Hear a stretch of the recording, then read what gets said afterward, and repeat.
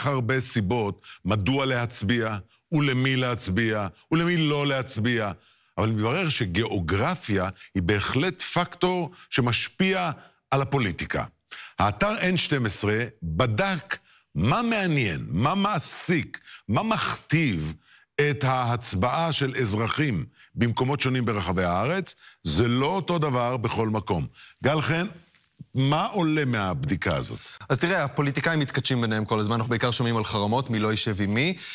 אז החלטנו ללכת על רעיון פורץ דרך. לראות על מה אנשים באמת מצביעים. החברים ב-N12 אה, אספו יותר מ-40 אלף הצבעות בכל הארץ, יחד עם אה, עמותת 121 וקרן רש"י, והם בדקו מה הנושאים שמביאים את האנשים לקלפי.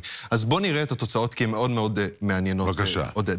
עכשיו, מה שאנחנו נראה עכשיו על המסך היא מפת התוצאות שגם אתם יכולים לראות עכשיו בבית ב-N12. מה, מה, מה הן הסוגיות הבוערות בכל האזורים השונים בארץ? אז בואו נתחיל, לצורך העניין, מ... אזור הדרום, נלחץ עליו, ונראה שהנושא שהכי מעסיק את המצביעים ואלו שענו על הסקר באזור הדרום, הוא דווקא עניין החינוך. במקום השני תעסוקה, ובמקום השלישי פערים חברתיים. אם נלך לגוש דן, נראה שדווקא התעסוקה יורד במקום אחד, וזה אולי המקום היחיד בארץ שבו התעסוקה רק במקום השלישי, אבל שוב, אתה רואה שהחינוך בראש. נעלה קצת אה, צפונה, באזור הגולן והכינרת, וגם באזור הנגב המערבי, הפערים החברתיים הם הנושא המוביל, הם מה שדוחף את המצביעים לקלפיות. עכשיו, צריך להגיד, אנחנו בהתחלה הוספנו אה, סוג של, אה, אה הייתה תשובה כזאת, פוליטיקה נקייה. 30 אחוזים מכלל המצביעים רצו פוליטיקה נקייה במקום הראשון. זה היה כל כך בולט שנאלצו בהתחלה להוריד את זה מהסקר, ואז הגענו לתוצאות האלה.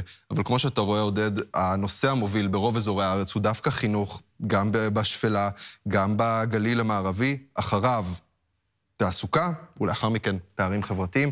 התוצאות המלאות שעשינו ב-N12, יחד עם עמותת 121 וקרן רש"י, עכשיו כולם יכולים לראות אותם ב-N12. מעניין, באמת מעניין. גל, תודה רבה תודה. לך.